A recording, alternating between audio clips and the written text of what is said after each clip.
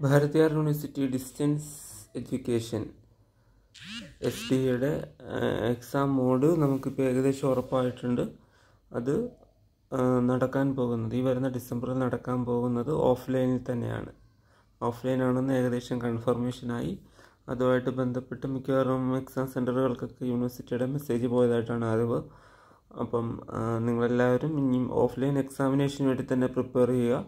കൃത്യമായിട്ട് നിങ്ങളുടെ studies exam centre exam study centre അല്ല നിങ്ങളുടെ എക്സാം സെന്റർ ഏതാണെന്ന് നോട്ട് ഔട്ട് ചെയ്ത് നിങ്ങളുടെ കൃത്യമായിട്ടുള്ള ടൈം ടേബിളുകൾ നോക്കി പോകണം പിന്നെ പ്രത്യേകിച്ച് ഒരു കാര്യം പറയാനുള്ളത് ഈ degree students U G U G സ്റ്റുഡൻസിന് അവർക്ക് ഫസ്റ്റ് ഇയറിൽ വരുന്ന ലാംഗ്വേജ് സബ്ജക്റ്റിന്റെ ടൈം ടേബിൾ പ്രത്യേകമാണ് പബ്ലിഷ് ചെയ്തിരിക്കുന്നത്.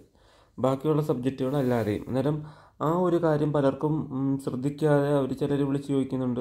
ഞങ്ങൾക്ക് മൂന്ന് സബ്ജക്റ്റേ ഉള്ളൂ. അന്നേരം ഈ ടൈം ടേബിൾ ഇട്ടിരിക്കുന്ന ഷെഡ്യൂളിനകത്ത് സെപ്പറേറ്റ് ആണ്. അന്നേരം നിങ്ങളുടെ ലാംഗ്വേജ് ഷെഡ്യൂൾസ് ഏതൊക്കെയാണെന്ന് പ്രത്യേകം നോക്കിയിട്ട് അതും മനസ്സിലാക്കി ടൈം ടേബിൾ പോകണം. അന്നേരം എല്ലാവരും ഓഫ്ലൈൻ എക്സാമിന് വേണ്ടി പ്രിപ്പയർ ചെയ്യുക.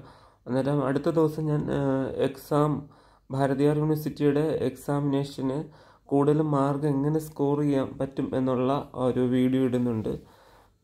ശരി. Okay thank